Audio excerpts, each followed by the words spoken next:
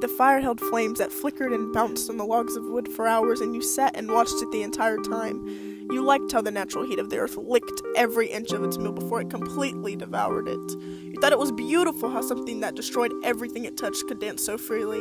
You could keep the heat contained to a small roar, but if you ever decided to let it run wild, it wouldn't come to a stop until every inch of the world was explored, until everything had turned into no more, until every bit of beauty was ultimately burned. It captured your gaze and filled your mind with smoke that clouded your thought process. Little sparks of red, orange, yellow, and at times blue were all you could see. It didn't matter what the flame was eating, all you saw was beauty. And you wondered how something so beautiful could be so deadly, but this was true for many things. A boy could rip your heart apart and you'd still be caught up in their eyes that held the desire to make you want to cry. However, you were never traumatized. You watched him perform a duet with the fire that was slowly spreading farther down the line. It was the calm before the storm, and you watched it as it transformed the entire world into something completely burned.